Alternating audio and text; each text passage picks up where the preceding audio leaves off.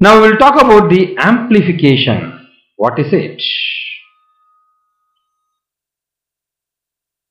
So amplification is the process of increasing the amplitude and consequently the strength of a signal using an electronic circuit called the amplifier.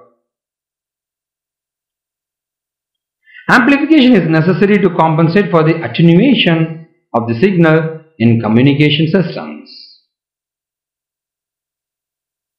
Range Range is the largest distance between a source and destination after which the signal is received with a sufficient strength.